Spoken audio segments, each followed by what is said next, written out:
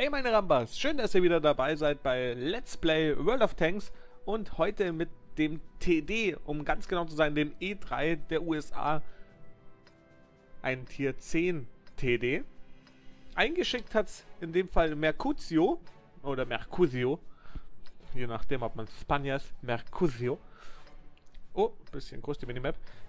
Und besonders wichtig, er hat mir in die E-Mail reingeschrieben, dass er den so gespielt hat, wie ich ihn gerne habe. Und zwar nämlich aggressiv. Also eben nicht hinten stehen und wegsnipen, was man natürlich auch ohne Frage machen kann.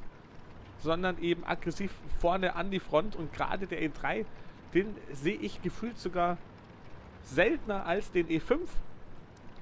Also von dem her schön auch dich mal begrüßen zu dürf dürfen vorne, also da durchzukommen am Turm. Also direkt, es ist ja, da ist schon, schon Aufgabe. Oben am MG geht es dafür leichter und jetzt fahrt er hier schon Richtung Gegner und ich glaube, ich sehe schon, was er vorhat. Der T-44, der hat den Weg da vorne hin bereut. Der ist ganz schnell weg gewesen. Und nicht so clever, so ganz ohne Backup.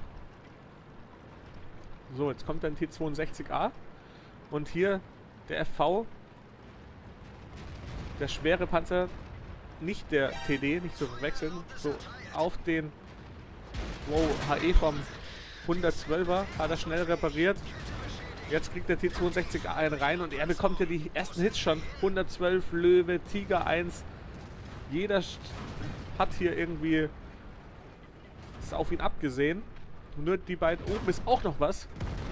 Zack, Munitionslager hat er weggenommen. Oben der AMX der E50 Wahnsinnsgefecht schon direkt. So gefällt mir das. Genau so will ich das sehen. Überall ist was los. Nachladezeitpunkt ist jetzt hier ungünstig, dass der so lang ist, aber geht nicht anders. Der 30B da oben hat ihn jetzt auch noch genervt. Der 112er hält weiterhin immer mit HE auf ihn. Er fährt jetzt drauf. Bekommt jetzt hier den Abpraller vom Tiger 1. Der AMX 30B weiterhin. Auch eine Badget ist da oben. Auto-Aim auf die Badget. Die bekommt einen 800er Hit. So, der E100 fahrt jetzt auf den 30B da oben drauf. Und auch er fährt jetzt hier oben entlang.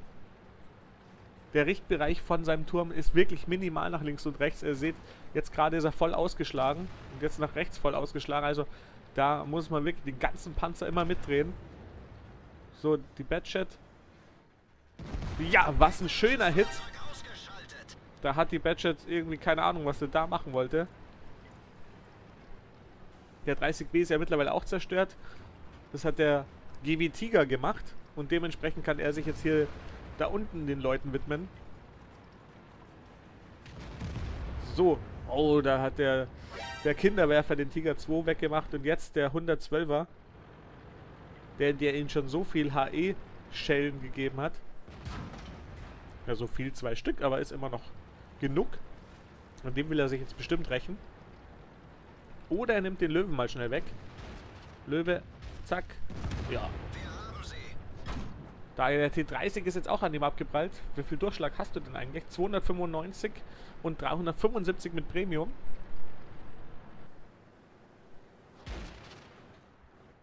So, da ist da, da hinten. Ah, blöd ist der Moment, durch die Optik zu fahren.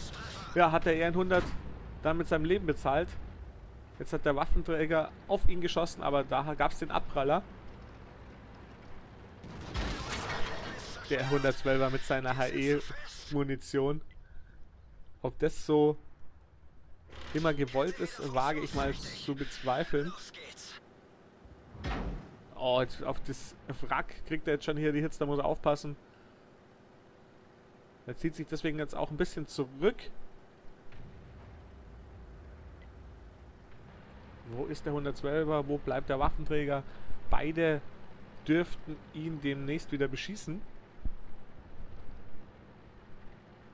Auf jeden Fall hat er den Rückwärtsgang definitiv jetzt für sich entdeckt. Aber da ist halt, das Panzer ist allgemein schon kein Rennpferd, aber rückwärts dann nochmal langsamer. Und jetzt will er da wohl den Hügel stürmen. 8 zu 8, sehr ausgeglichen bis dato.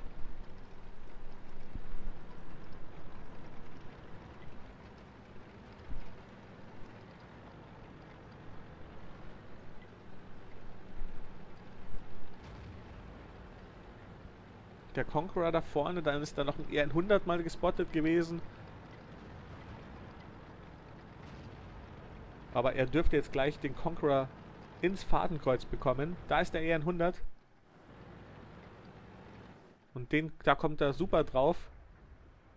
Einaimen, einaimen, einaimen. Jetzt dreht er sich perfekt, dass er unten auf die Wanne hätte drauf kommen können. Aber man hat gesehen, in der Zielansicht, da ist der Schuss ein bisschen zu weit nach oben gewesen. So, da der Conqueror oder nimmt er den ER100? Er geht auf den ER100 mit Premium und prallt auch da oben am Deckel ab. Ist halt auch nicht so leicht, dem ER100 einfach durchzuschießen. Selbst mit Premium nicht.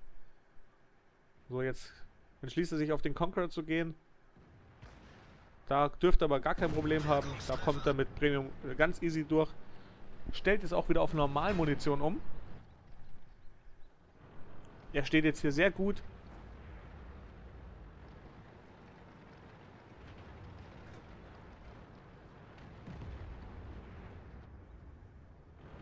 8 zu 9 aktuell. Von dem her immer noch alles drin für beide Seiten. So, der Jagdpanzer, da nimmt er jetzt den Conqueror raus. Jetzt vielleicht langsam mal den ER100 da drüben wegbekommen.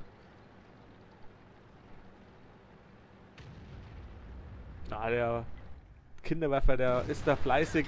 Er konnte jetzt auch einen schönen 700er auf dem ER100 landen. ER100 fahrt jetzt Richtung Arti.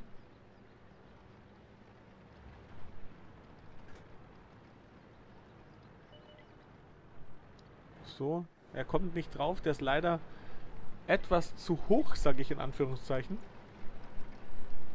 Also dieser Wall, hinter dem er da steht. Jetzt hat er da den T30, der hat schon auch vorher auf ihn geschossen. Er dreht sich jetzt direkt auf ihn um. Gegner hat auch noch eine Arti, die darf man auch nicht ganz immer außer Acht lassen. Bisher hat er sie noch nicht gespürt, aber was nicht ist, kann ja noch werden.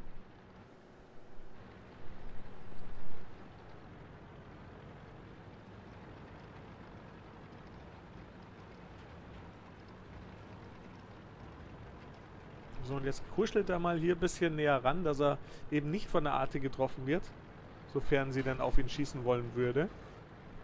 Und wartet wahrscheinlich den T30 jetzt mal ab.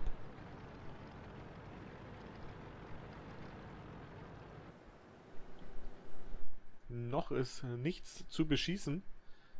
Wäre natürlich interessant, wenn der T30 jetzt versuchen würde, Richtung Leuchtturm zu fahren, aber kann ich mir das nicht vorstellen. Aber auf jeden Fall ist er nicht zu sehen. Der 112er ist da hinten immer noch.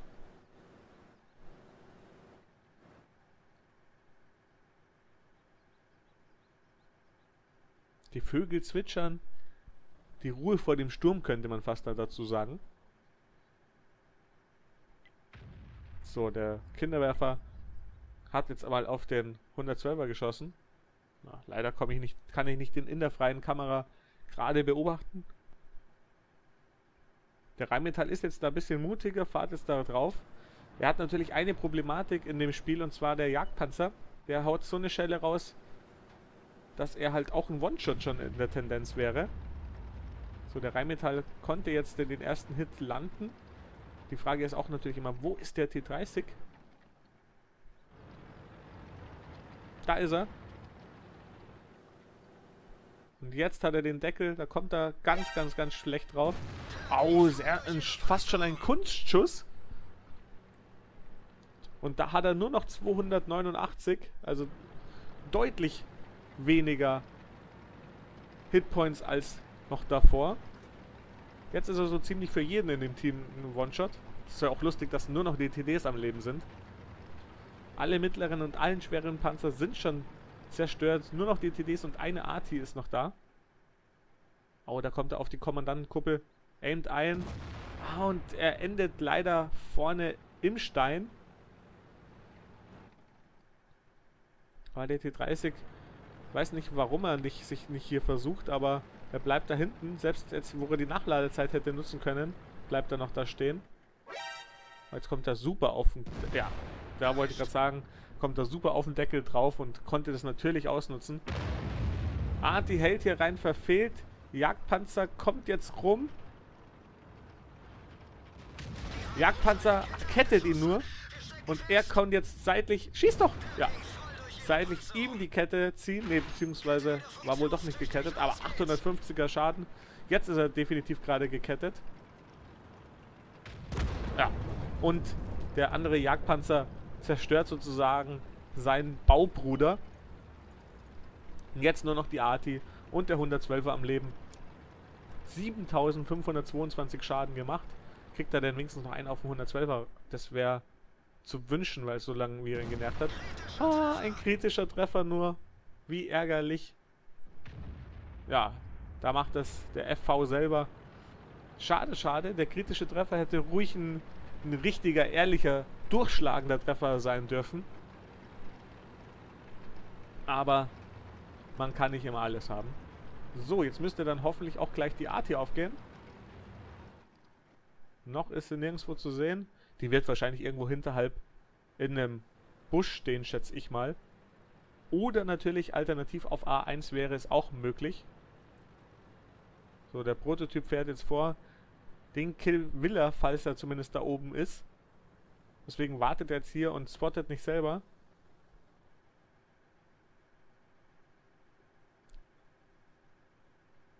Wie gesagt, A1 scheint sie nicht zu sein, also wird sie oben irgendwo in den Büschen stehen. Also ich schätze ein bisschen weiter rechts. Ne, ich glaube so weit auch nicht. Doch, da ist sie. Tatsächlich. Schuss. Und ja, da macht er den Killshot. 5 Kills, fast 8000 Schaden, 7912 und mit einer wirklich grandiosen Action zu Beginn. Hat mir sehr gut gefallen. Vielen Dank, Mercutio, für dieses Replay. Ich wünsche euch alles Gute und wenn es euch gefallen hat, dann lasst doch gerne einen Daumen da. Bis zum nächsten Mal, euer Alcaramba.